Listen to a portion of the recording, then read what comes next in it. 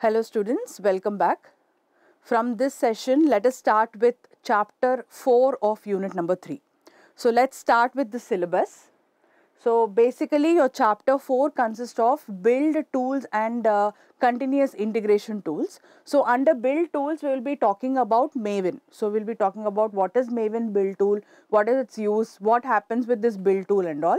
Then we will be talking about continuous integration tool which is called as Jenkins. So we'll be talking about what is Jenkins, what is continuous integration, how Jenkins is useful in continuous integration. We will be talking about its architecture and we'll be trying to build a pipeline using the Jenkins. Okay, so this is basically the syllabus that we'll be covering in the fourth chapter. Let's start today with understanding what you, do you mean by Maven and what do you mean by a build tool. Okay, so Maven is basically a build tool which automates whatever the process or the sequence of steps that your developers are performing in building the Java project as well as in managing the Java project. Okay, so it's basically a build tool which automates everything that is done by the developer while he is developing, deploying uh, your particular Java project. So let us understand what do you mean by building this Java project. So building Java project is nothing but the steps that are involved to make it a complete file which is ready for deployment. So you compile it, you test it and you package it into an executable code which can be deployed in any environment that you want. So these steps are nothing but building your Java project. So what is the main purpose of Maven is the first thing is it automates everything as I told you. So it uh, automatically compiles, it automatically tests, it automatically packages whatever you have uh, written your particular project. Not only that, it also reduces the time of your particular developers. Now, how, how does this happen? See, generally, whenever you develop any particular project, it requires lot of libraries. Yes, so your Maven build tool will automatically search for those libraries, download it and add it to your particular project which generally we, we should do manually but your Maven build tool does everything automatically. So in this way it is reducing the time span of your developers also. Okay. Now let us see what are the basic benefits. So as I told you, without Maven, what you have to do, say suppose I want a library for my particular project. I have to manually search for that library. I have to download it, then I have to open my project and I have to put that particular library or add that library to my particular project. But what is your Maven doing? without Maven, this is the manual work. But with Maven, what are we doing? Just you need to specify which library I want for my particular project. It automatically searches for it, downloads it, and not only that, it will add that particular library to your project also. After doing this, it will compile, it will test, and it will package it into a deployable executable code. This is done everything automatically with the help of Maven build tool. Okay. So now let us understand about one important file inside this Maven which is called as the pom.xml file which is nothing but your project object model file.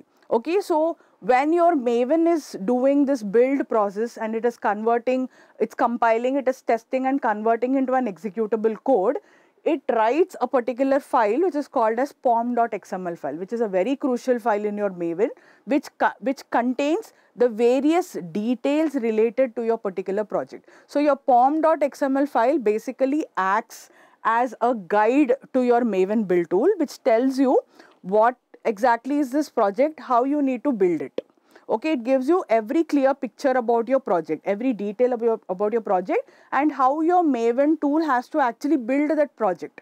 Everything is detailedly explained in this pom.xml file. Okay so now what exactly do we mean by this pom.xml file? It is said to be a configuration file which contains all the needed information of your particular project that helps in building and managing. So your developers by looking at this pom.xml file they will easily understand how to build that particular project and how to manage that particular project. Okay, so let's just have a look at the template of this pom.xml file. So this are the tags that you can see in your pom.xml file Okay, so this is how your pom.xml file for every project, Java project that you are developing will actually look like. Starting with the first one, which is the project, it's the main tag which tells you that inside this particular tag, the project tag, you have all the information related to the project that you have developed. The next one you have is the group ID, which talks about who is the owner of this particular project. Okay, so in this case, example uh, .com is the owner of the particular project. Okay. The next one you have is artifact ID. So artifact ID is nothing but the title of your project. So in this example, email project is the title of my particular project that I have developed. Okay. So artifact ID is the title of your project. Group ID is the owner of that particular project. The next one you have is version. So you know that as we keep on doing changes in the project, we release them into the market as various versions. So which is the current version of the project is written under the tag which is called as version. Now all these are not written by the developer. It is automatically generated by your Maven build tool. Please do remember that. Okay. Next you have is the dependencies tag. Now what do you mean by dependencies? Dependencies are nothing but they are the libraries that are needed for your particular project. Okay, so your project needs n number of libraries which uh, help the particular project to get executed. So dep under dependencies, you have all the different informations of the library. So in this example, uh, there's one library which is called as mail okay. So I simply mention I want mail for my particular project. So your Maven build tool will search for it, download it and it will attach it into this pom.xml file. Okay. So this is basically the structure of your pom.xml file which talks about the complete information of your particular project. Not only that, it also guides you as to what to be added, how to build it, how to convert it into an executable file, right? So this is all about your uh, pom.xml. Now let's talk about the next one which is called as the Maven build lifecycle. So I told you Maven is a build tool. So what does it do?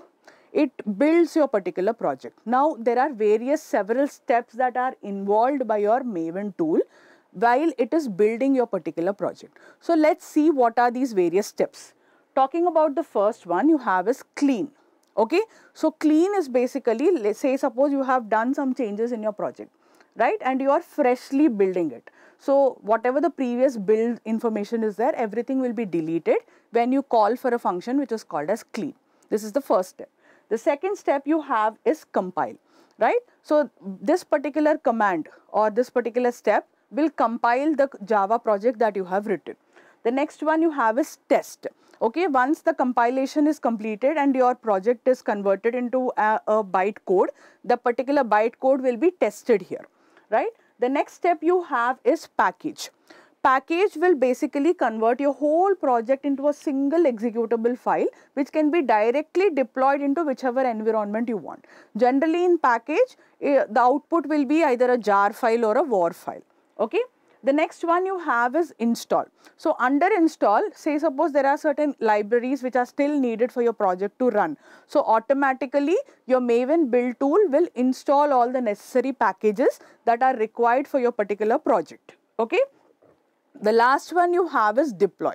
So deploy basically now puts your complete project uh, which is in the form of a jar file or a WAR file into the online server. Now, after deploy, your project is ready for every user to actually use it in the market. Okay. So, these are various uh, life, cycle, life cycle phases of your particular Maven, right. Now, generally this build tool is automatic. It all it automatically does all these steps but say suppose you want to do manually, you don't want all these steps, you want only few of the steps the, that you want to build. Then what you have to do, you have to use these commands. You can see the commands here, mvn package, mvn install. Okay, so these are the commands that you manually type into the editor and you perform those particular build life cycles. Okay, if you want it automatic, it does automatic. If you want to do it manual, then you have to use these commands to perform that particular step in your build life cycle. Now, the beauty of Eclipse uh, like IDE in which we will be actually performing the Maven projects is the you need not use these commands. You have certain GUI already built in uh, GUI features here as you can see. So say suppose this is my particular project called as sample Maven Java project. Okay. When I right click on it, you have an option called as run as.